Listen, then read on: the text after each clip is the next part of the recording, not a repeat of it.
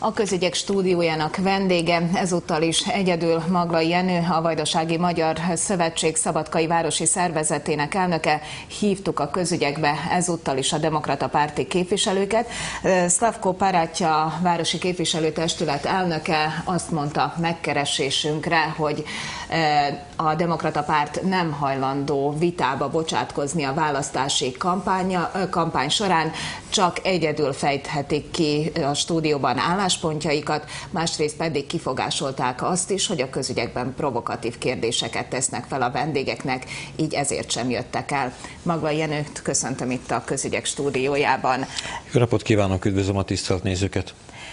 Két milliárd dinára tehető Szabadka adóssága, ugyanakkor 4 milliárd dinárból gazdálkodik Szabadka egy évben ekkora a városnak a költségvetése. Ezek hatalmas pénzösszegek. Szerintem a, a nézők többsége nem érti, hogy ez mekkora leterheltséget jelent a város szempontjából, hogyha ez gyakorlatban illusztrálná. Hát valójában arról van szó, hogy a városnak az eddigi tartozásai, amik kölcsönformájában vissza kell fizetnie, azok több mint 9 millió euróra rúgnak, amiket a városi költségvetés, a városi önkormányzat vett fel. Azt kell, hogy mondjam, hogy ez elsősorban a 6 millió euró, amely még a szennyvíztisztára visszamaradt, ez a hatalom, tehát ez a hatalmi többség, ez felvette egy 230 millió dináros kölcsönt a második kasszárny, illetve a poligonok megvásárlására, illetve felvette egy 130 millió dináros kölcsönt a buszvásárlásra. Ez összesen képezi valamennyivel több mint 9 millió dinárt, és ehhez most még, még 11 millió dinárral fogják eladósítani Szabadka városát. Azt kell elmondjam, hogy ezen kívül még a közvállalatoknak is vannak tartozásai, amiről én személy szerint tudok hogy a, a a köztisztviselői közvállalatnak körülbelül olyan valamennyivel több mint 1 millió eurós tartozása van, mert 750 ezer eurót vettek fel egy évvel ezelőtt, nem tudjuk, hogy mire, illetve 750 ezer eurónyi összeg lett felvéve valamikor 2009-ben, ha jól emlékszek rá, szemét hordó kamionok vásárlására. Ezen kívül tudjuk, hogy vannak tartozásai még a parking közvállalatnak, aki kölcsönt vett fel, a Toplanának több millió eurós kölcsönei vannak, amelyeket kapott úgy szintén az Európai Fejlesztési Banktól.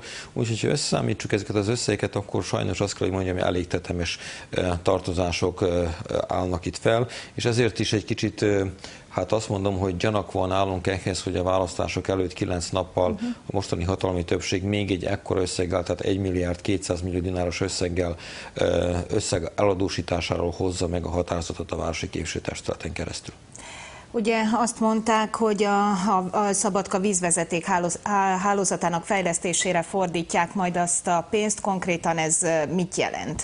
Nem is annyira vízvezeték hálózat fejlesztésről szól, hanem a szennyvízsatorna hálózat fejlesztéséről, tehát a kollektor hálózat a 2 és a 7-es kollektora, illetve vízgyár építésére, és nincs, nem is ezzel van a gond. Tehát nem ezzel uh-huh. van, és nem is ez kifogásolta a Vajdasági Magyar Szövetség tanácsnoki csoportja, hanem azt, hogy nem látjuk átláthatónak valójában ezeknek a pénzeknek a későbbi visszadására vonatkozóan a mhm, terveket. Uh-huh, uh-huh. Tehát az, hogy felveszünk egy kölcsönt, azt a kölcsönt vissza is kell adni, méghozzá kamatostól kell visszaadni. Attól függetlenül most hivatkozhat a polgármester, hogy milyen nagyon jó feltételei vannak ennek a kölcsönnek. Ezt a kölcsönt vissza kell adni, csak nem lássuk, hogy pontosan hogyan lesz ez a kölcsön visszaadva, miből lesz ez a kölcsön uh-huh. visszaadva. Van ennek a városnak olyan kapacitása, illetve akkor majd a közvállalatnak, hogy ezt a kölcsön vissza tudja fizetni. Erre semmiféle kimutatást nem lett a városi képviselőtestület elé nyújtva, és azt kell, hogy mondjam, hogy az a szerződés is, amely eh, elébünk lett tárva, illetve amely prezentálva, illetve hogy mellékelve lett az anyaghoz, ott sem nem azok a tények állnak, amelyekre hivatkozott a polgármester, hogy hát a, ettől a szerződéstől, vagy ettől a kölcsöntől az önkormányzati eh, többség, ha esetleg változni is fog a választások után, az pedig minden pillanatban áll, mert a szerződésben ilyen tétel nem uh-huh. szerepel. Úgyhogy eh, hát úgy gondolom, hogy ennek a városnak nem azt a politikát kellene folytatni, amelyet a köztársasági kormányt az elmúlt négy évben, amely úgy látszik a demokrata pártnak nagyon tetszik, hogy kölcsönre élünk, illetve kölcsönre beruházunk, mert a köztársasági szinten is komoly mértékben adósították az országot, és most itt szabadkai szinten is valójában egy olyan irányba mozog, hogy kölcsönökből akarunk építkezni. Úgy gondolom, hogy elsősorban abba az irányba kellett volna mozgatni a dolgokat, hogy a saját erőinkre támaszkodjunk, másrészt pedig talán lehet, hogy okosabb lett volna.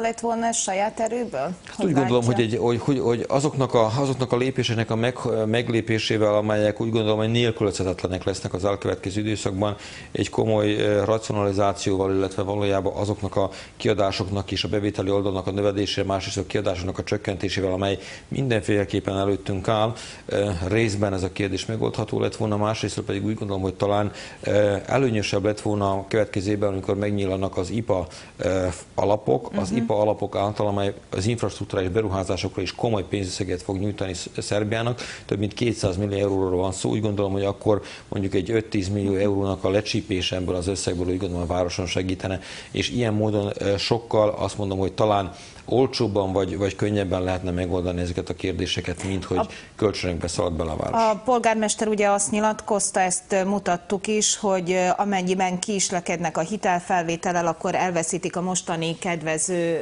hitelfelvételi lehetőségeket ezért volt ez sürgős? Tehát eddig is a szennyvízhálózattal gond volt Szabadkán. Miért, miért tűnik úgy, hogy ebben a pillanatban most ez a megoldás mégis jó? Mi lehet ezzel a cél? Megkérdezném a Demokrata Párti városvezetőséget, de nincsenek itt. A Demokrata Párt eltökélt ezt, mert ez a döntés már megszületett jóval hamarabb. Tehát ez a városi képviseleti döntés egy formális döntés volt.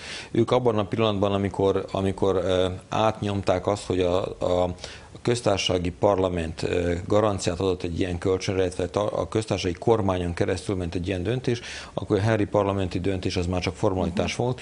Ők eltökélték, hogy ezt a kölcsön felvételbe bele fog menni a demokrata párt, és valójában ennek a dinamikája az, az volt, hogy a választások előtt tudták, illetve megpróbálják még ezt kiboxolni, hogy az új hatalmi koalíció, mely fel fog állni, ez kérdéses, hogy ezt támogatná vagy nem. Másrészt ők arra hivatkoznak, hogy a, az új kormány felállásával vissza fog térni Szerbiában a Nemzetközi Valutalap, és a Nemzetközi Valutalap nem biztos, hogy támogassa, hogy ezeket a kölcsönöket a szerb kormány, illetve az önkormányzatok felvegyék, mert úgy gondolják, hogy ezáltal a Szerbia költségvetése, illetve eladósítása olyan méreteket ölt, amelyek nem elfogadhatóak a Nemzetközi Valutalap számára, és akkor ennek a kölcsönnek a felvétel el fog bukni.